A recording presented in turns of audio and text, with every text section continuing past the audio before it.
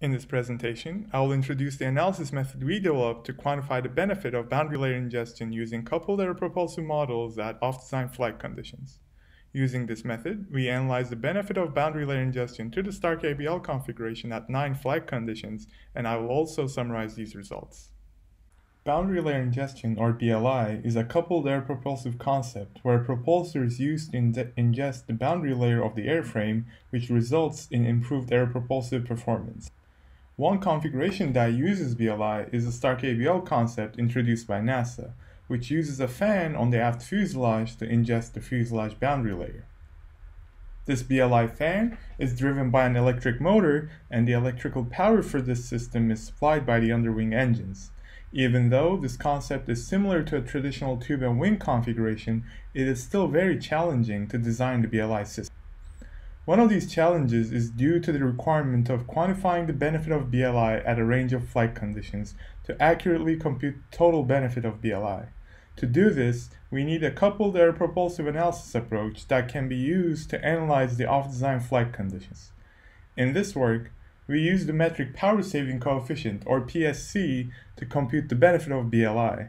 With this approach, we compare the shaft power requirement of a BLI configuration to a reference podded configuration operated at the same net force on the whole body. We do this because it is difficult to compute thrust and drag for a configuration that uses BLI. The net force approach sidesteps this challenge, and we can compare the propulsive performance directly between a BLI and a podded configuration. For the STARC-ABL concept, the BLI configuration consists of the wing, fuselage, vertical tail, and the aft propulsor, while the podded configuration consists of two separate CFD models. First, we have the CFD model of the non-BLI airframe which consists of the wing, fuselage, and vertical tail, and secondly, we have a separate podded fan model that ingests free stream air instead of ingesting the wake of the fuselage. In both of these configurations, we use an actuator zone model to model the effect of the fan on the CFD domain. In previous work, we optimized both the BLI and podded configuration designs at 9 different design points for a total of 18 optimized designs. In this work, we develop a new analysis method to quantify the benefit of BLI at off-design flight conditions, and we use the optimized designs from previous work for these analyses at 9 flight conditions. This work was funded by the NASA T-Cubed and AATT projects. Before I explain the off-design analysis method and the results, I will quickly summarize the optimized designs we use in this work. In previous work, we used a coupled aeropropulsive model built with the OpenMDAO framework to optimize the BLI and podded fan designs. The publication that details this work is currently under review, but it is a continuation of our previous work presented in the AIAA Aviation Forum in 2019. In previous work, we optimize the designs at, co at combinations of three net force and fan pressure ratio values for a total of nine designs for both configurations. With this approach, the net force value was used as a parameter to control how much of the total thrust was supplied by the BLI fan compared to the underwing engines. Using these 18 optimizations, we computed the PSC values for 9 design points in previous work, and we use these 18 designs for the results in this presentation.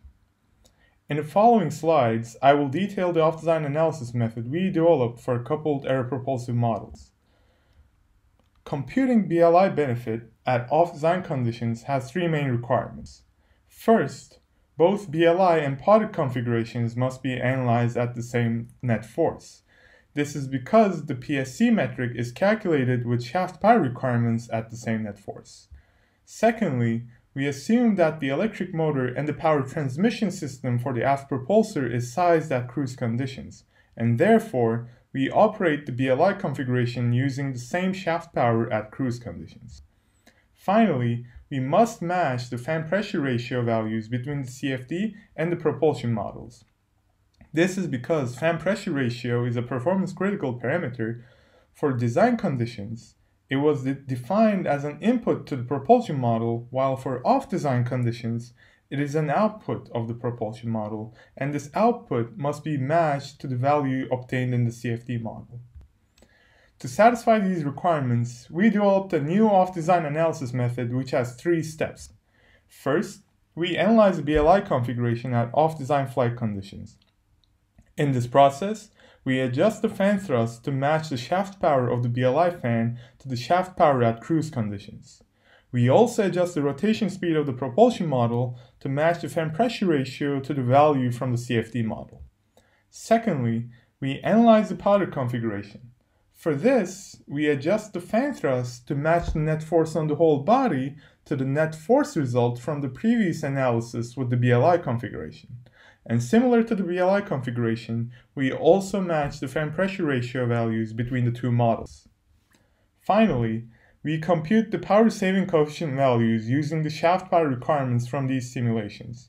Because we analyze the BLI configuration at the shaft power at cruise conditions, the differences in PSC values between on and off design conditions are caused by the changes to the shaft power requirement of the podded configuration.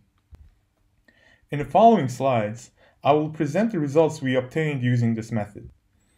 In this study, we analyzed nine flight conditions in total. Each flight condition requires the analysis of nine optimized BLI and podded configurations. However, because the airframe of the podded configuration is the same across 9 podded designs, we only need to simulate this model once.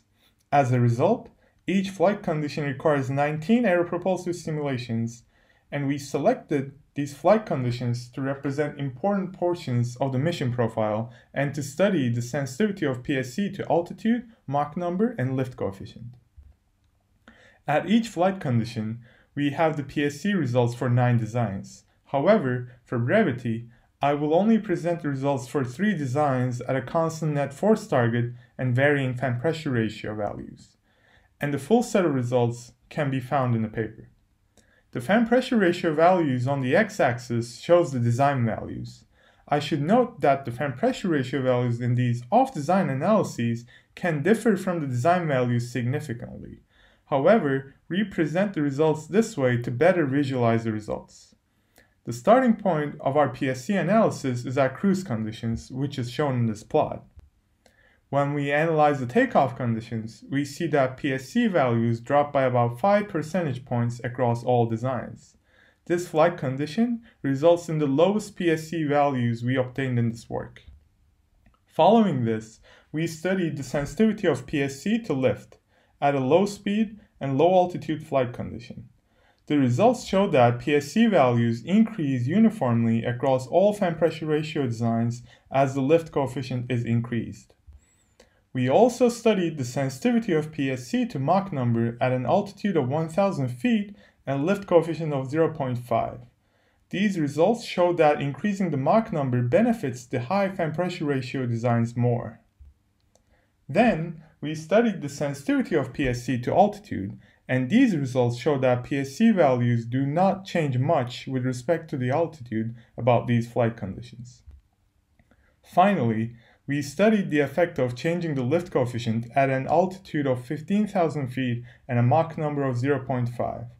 These results show that the PSC values increase uniformly with increasing lift coefficient, which is similar to the trend we observed previously. This creates an interesting trade-off. These results suggest that adjusting the lift distribution might increase the benefit from BLI. And to wrap things up, in this work, we developed a method to analyze the benefit of BLI at off-design flight conditions. Using this method, we performed 171 simulations to quantify the benefit of BLI to the STARC-ABL concept at 9 flight conditions. This study generated the first set of off-design performance data for the STARC-ABL configuration and the full set of data can be found in the accompanying conference paper. In this presentation, I introduced the off-design analysis method we developed to quantify the benefit of BLI. I also presented the results we obtained with this method, and these will guide the design of BLI configurations in the future. Thank you.